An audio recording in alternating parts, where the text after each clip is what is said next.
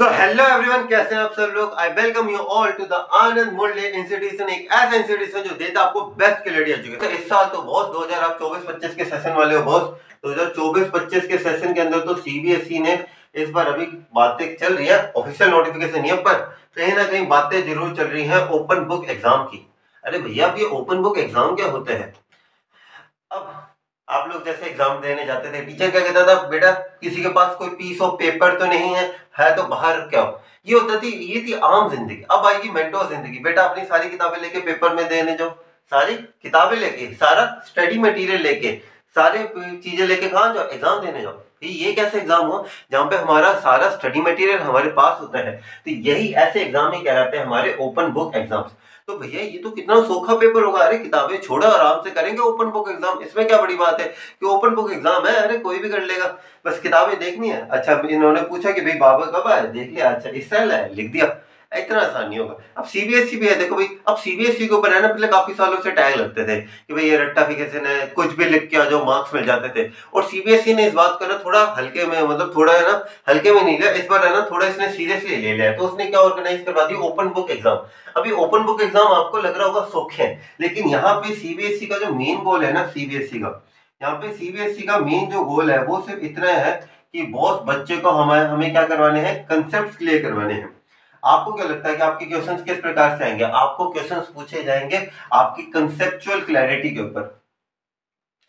Conceptual clarity के ऊपर। अब ये नहीं पूछेंगे आपसे कि जैसे आपका कोई रेवल्यूशन जैसे फ्रेंच रेवल्यूशन है तो फ्रेंच रेवल्यूशन के कुछ मेन फीचर्स बता दो, ये बता दो। फ्रेंच रेवल्यूशन हुई क्यों? ये बताओ। फ्रेंच रेवल्यूशन का मेन गोल क्या था? फ्रेंच रेवल्यूशन के बेनिफिट्स क्या थे? डिसएडवांटेजेस क्या क्या थी? फ्रेंच रेवल्यूशन से पूरी दुनिया पे क्या प्रभाव पड़ा?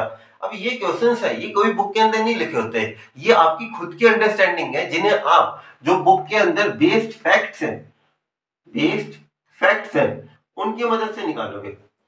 कुछ समझे क्या कहना चाहता हूँ मैं? यानी कि ओपन बुक एग्ज़ाम्स के अंदर क्या होगा? आपके सिंपल क्वेश्चन नहीं आएँगे। आपके ऊपर, आपके पास आएँगे क्वेश्चंस कंसेप्चुअल क्लैरिटी के ऊपर। किसके ऊपर आएँगे आपके क्वेश्चन आपके क्वेश्चन आएँगे कंसेप्चुअल क्लैरिटी के ऊपर। और वो कंसेप्ट आप किस तरीके से डेवलप करोगे? बेस फैक्ट जो कि आपको आपकी एनसीईआरटी से मिलेंगे। यानी कि अगर पूछ लिया कि भाई फ्रेंच रेवोल्यूशन के बारे में तो वो क्या पूछेंगे? भाई फ्रेंच रेवोल्यूशन का मेन गोल क्या था? फ्रेंच रेवोल्यूशन हुई क्यों? कहाँ से शुरू हुई? किस तरीके से खत्म हुई? प्रोसेस को डिफाइन करो। इसके क्या बेनिफिट्स थे? क्या डिसएडवांटेजेस थी? आपकी इसके ऊपर क्या राय है? यानी कि ये क्या पूछना चाहते हैं? राय पूछ रहे हैं। अब काफ़ी बच्चों के मन में होगा कि भाई, अगर ये बुक के अंदर नहीं दे रहे तो बुक मंगवा क्यों रहे तो वही ये मेन बात है बेस्ड ऑन फैक्ट्स आप अपने फैक्ट्स को प्रेजेंट करोगे, ठीक है? अगर आप ये बुक पढ़ के आपके मन में क्या आइडियाज़ आने की, यार, इसे किस तरीके से करना है?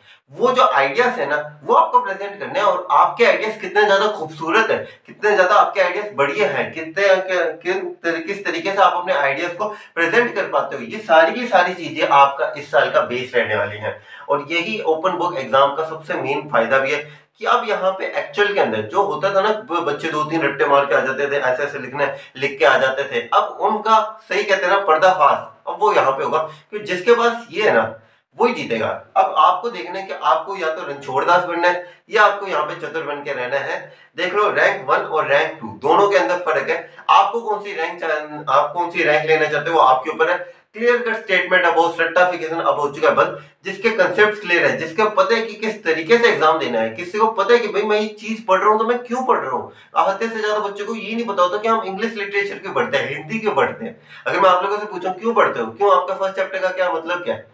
नहीं पता होगा किसी को। तो अब आप लोगों को मज़ा आएगा। और मुझे स्पेशली बीइंग इंग्लिश टीचर मुझे तो बहुत मज़ा आने वाला है, क्योंकि इंग्लिश को सबसे ज़्यादा लाइटली लिया जाता है। तो अब जो मज़ा आएगा ना, कि इंग्लिश के कंसेप्ट जो क्लैरिटी मिलेगी ना, कि इंग्लिश के अंदर कंसेप्ट को क्लियर करना। कंसेप्ट इंग्लिश के अंदर कौन से?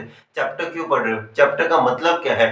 चैप्टर से आप समझना क्या चाहते हो? उस चैप्टर से आपने क्या सीखा? ये सारे जो पॉइंट्स है ना, इसी क्लास को लेने के अंदर मज़ा आएगा, क्योंकि यहाँ पे किताबी ज्ञान से ज़्यादा आप लोगों के साथ इंटरेक्ट करने का जो मज़ा आएगा ना उस चीज़ के लिए मैं बहुत एक्साइटेड हूँ इस साल के लिए। और इस साल मैं रजत गावड़िया।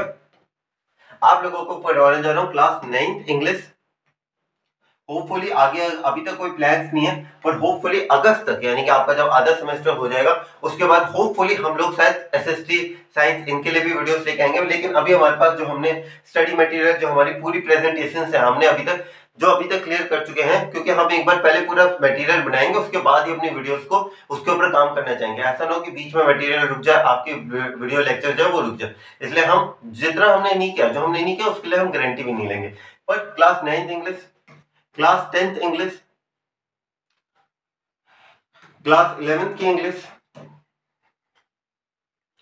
और क्लास ट्वेल्थ की इंग्लिश ये चारों के, ये जो चारों क्लासेस को इंग्लिश जो है, आनंद मुरली इंस्टीट्यूशन के ऊपर, यानी कि एएमए के ऊपर पढ़ाने की ज़िम्मेदारी है मेरी। मैं पढ़ाऊँगा, रजत गावड़िया, हम पढ़ाएँगे आनंद मुरली इंस्टीट्यूशन के ऊपर। मैं ये सारे सब्जेक्ट कवर करवाऊँगा और क्लास ट्वेल्थ इंग्लिश के साथ साथ मैं क्लास ट्वेल्थ की बिज़नेस स्टडीज़ भी मैं ही कराऊँगा बिज़नेस स्टडीज़ का भी मैं ही टीचर हूँ, मैं क्लास ट्वेल्थ की बिज़नेस स्टडीज़ भी मैं ही करवाऊँगा, ठीक है?